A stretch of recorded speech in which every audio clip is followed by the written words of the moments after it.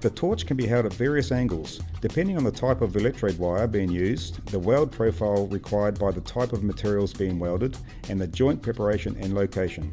As a rule of thumb, lower torch angles will tend to make the weld bead wider and lower. Higher torch angles will tend to make the weld bead narrower and higher. Welding positions are coded with a number and a letter. For example, 1G is a flat position for metal plates. It is also the easiest position to weld. As you vary the angle from the flat position, welding becomes harder. You cannot simply rely on gravity to fill your weld metal. Instead, you'll also have to consider arc force and surface tension to produce an effective weld. Different projects may require you to weld in all sorts of positions.